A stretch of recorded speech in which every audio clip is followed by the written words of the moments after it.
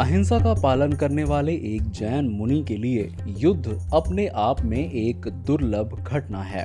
परंतु इस घटना के माध्यम से जैन आचार्य कालक ने ये सिद्ध कर दिया कि अन्याय का बदला लेने के लिए अगर ज़रूरत पड़े तो एक जैन मुनि भी कुशल योद्धा साबित हो सकता है। आचार्य कालक का जन्म क्षत्रिय राज परिवार में हुआ था। उनके पिता का नाम वैर सिंह और माता का नाम सुरसुंदरी था। उनकी सरस्वती नाम की एक बहन भी थी। वे धारा नगरी के रहने वाले थे। गुणाकर मुनि की प्रेरणा से उन्होंने गृहस्थ अवस्था का त्याग कर साधु जीवन स्वीकार किया। उनके साथ जैन साध्वी बन गई। अपनी विद्वता के चलते समय के साथ वो आचार्य भी बन गए। विहार करते करते वो उज्जैन पधारे। वहाँ का राजा था गर्द भिल्ल वो साध्वी सरस्वती के सौंदर्य पर मुग्ध हो गया। राजा के आदेश का पालन कर राज पुरुषों ने उसका अपहरण कर लिया। आचार्य ने राज्यसभा में उपस्थित होकर राजा को समझाने का प्रयत्न किया, मगर राजा पर उसका कोई प्रभाव नहीं पड़ा।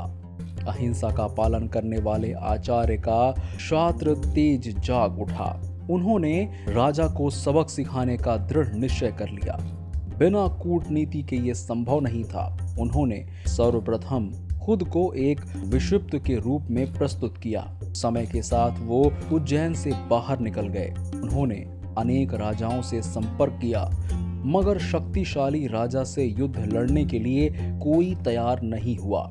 ऐसे में वो विहार करते हुए भारत के बाहर ईरान तक पहुँच गए और वहाँ की एक लड़ाकू कौम शक के साथ मित्रता की। बिखरे हुए शकों को एकत्र कर और उन्हें राजनीति का पाठ पढ़ाकर उन्होंने शक्तिशाली दिखने वाले उज्जैन के राजा के समक्ष युद्ध के लिए ला खड़ा किया। गर्द भिल्ल राजा उस समय इतना सशक्त था, उसके लिए ये सेना कोई महत्व नहीं रखती थी। वो एक रास भी विद्या का ज्ञाता था। उस विद्या के प्रभाव से वो हज़ारों शत्रुओं को एक साथ नष्ट कर सकता था।